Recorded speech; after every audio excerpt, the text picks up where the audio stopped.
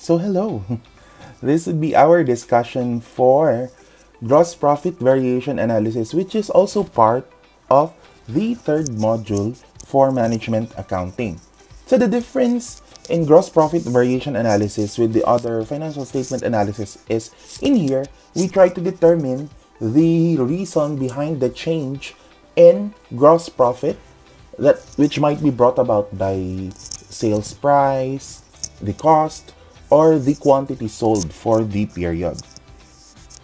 So what are the causes of gross profit variation? As mentioned, change in volume or quantity sold. So we might have sold more or less for this year as compared to last year. Um, what is the importance of knowing that? We get to understand the the source of the change in profit in the company because if we will only look at the gross profit which has increased or decreased for the current year we might be wondering did we sell more or did we just increase our prices? Change in selling price change in purchasing price of products sold. This may, may also cause an increase or decrease in gross profit. So we might want to consider the the the cost of the products that we sell in determining our move for the for the product itself. And if we are selling more than one product, sales mix is also a factor there.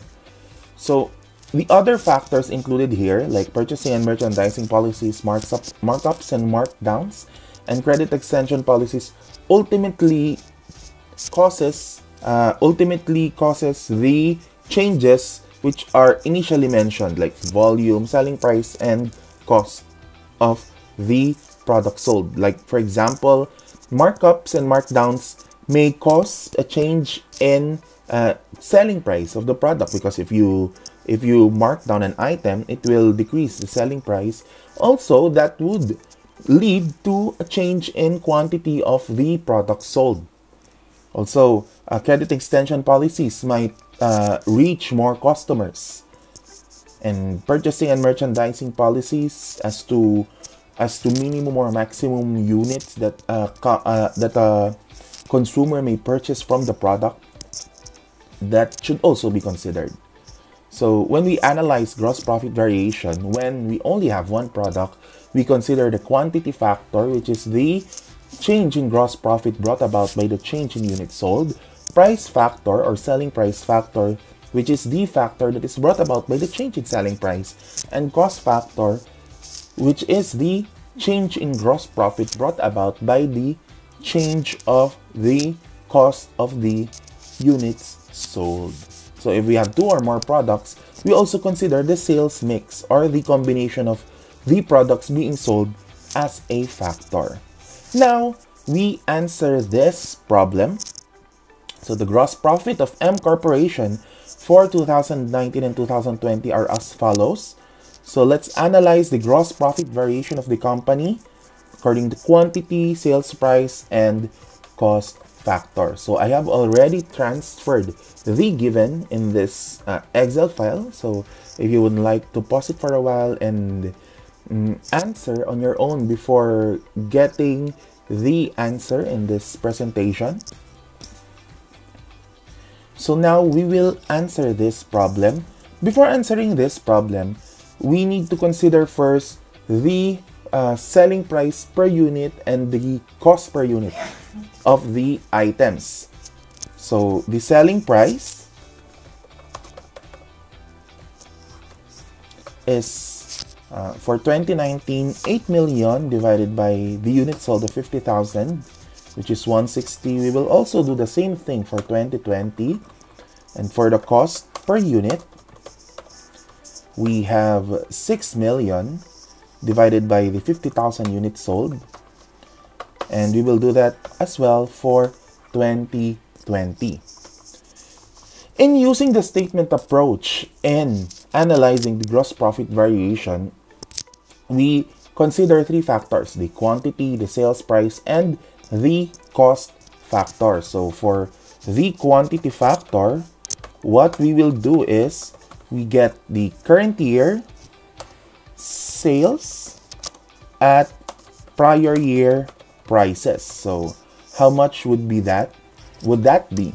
I mean, so we have the current year sales of 48,000 multiplied by the prior year price of 160,000 and then we will get the prior year sales of which is already given 8 million. So we would have the change in in change in sales of how much? So there is a decrease of 320,000 and we will only consider the gross profit here. So we will multiply this by the gross profit rate of how much? For the prior year.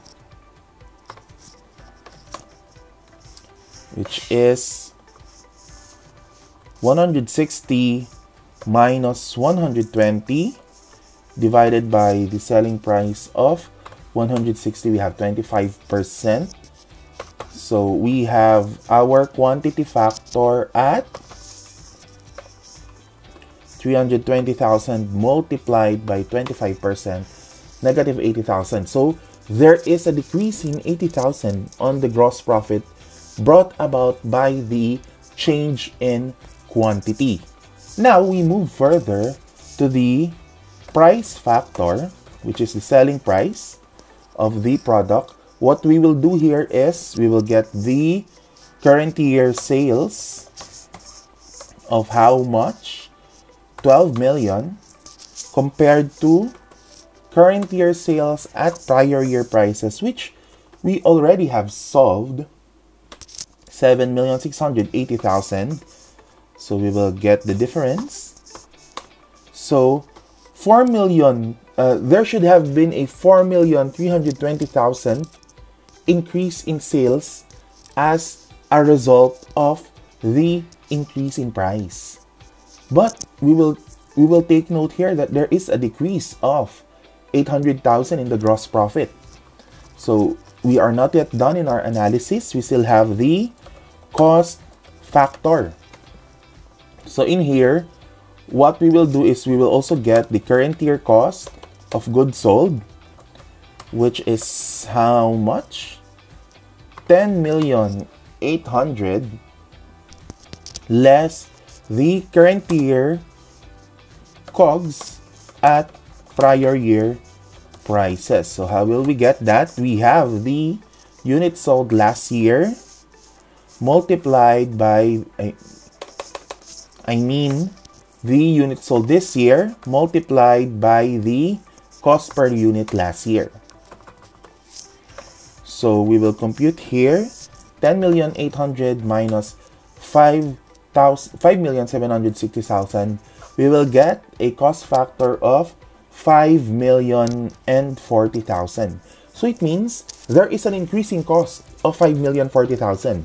And if we will consider that, it means there is a decrease in gross profit of uh, cost by the uh, increasing cost of 5,040,000. So now, if we will consider the change in gross profit here, we will we will uh, add the quantity factor then add with the price factor and deduct the cost factor. So we will get a change in gross profit of 800,000 which is actually consistent with the change in gross profit that we have for the given items.